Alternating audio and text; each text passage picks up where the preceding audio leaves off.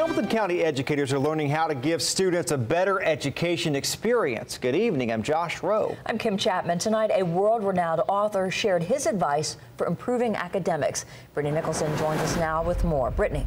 Josh Kim, Sir Ken Robinson says engaging students through technology and teaching students to enjoy learning are keys to success. Tonight he talked about how standardized testing has taken over the education system. More than a thousand people packed into the auditorium at Howard High. Many liked what they heard. For the past 15 years especially, education has become a political issue. Sir Ken Robinson is an education author, speaker, and researcher. Monday night, he shared thoughts from his latest book, Do Schools Kill Creativity?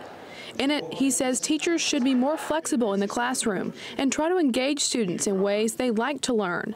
Howard Principal Zach Brown says he agrees with Robinson. It's going to take thinking outside the box. It's going to take creativity. It's going to take us working together. Chattanooga 2.0 brought Robinson in for the speech. The community-driven education organization wanted Chattanooga to hear Robinson's unique and innovative take on education. I think what it's going to do is, is help to um, remind us that a lot of the problems that we're confronting are not unique to Hamilton County. They're not unique to Chattanooga, but they are big problems that require some pretty bold solutions. Steele says the number of people who showed up speaks volumes. I just think it's exciting to see the level of interest that we see in the community. It, it shows what we've really kind of known all along, that this community is ready for a change and they're ready to take the action necessary to make it happen. Parents, teachers, and others were allowed to ask questions at the end, giving him a standing ovation when it was over. I think there's that vibe. There's a sense of, hey, you know, ownership. We really want um, our Hamilton County school systems to be the best school system possible.